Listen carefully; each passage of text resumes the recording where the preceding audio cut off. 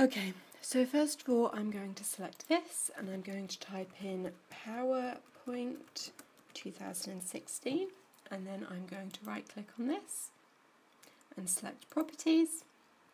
Then in the shortcut tab, I'm going to go to shortcut key and click in this and then press Control Shift P and then I'm going to apply this and I need to give it administrative permission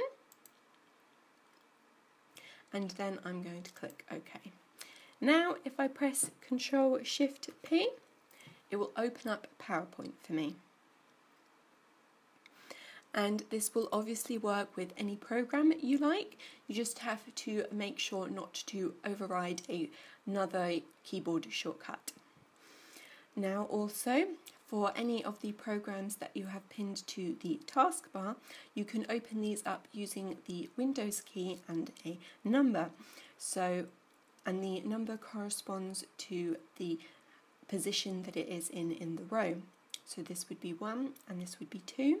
So if I press the Windows key and 2, it will open up Google Chrome for me. And this also works, so if I wanted to open this up, it would be Windows key and 3. And if I wanted to open this up, it would be Windows key and 4. And you get the idea. Okay, that is it.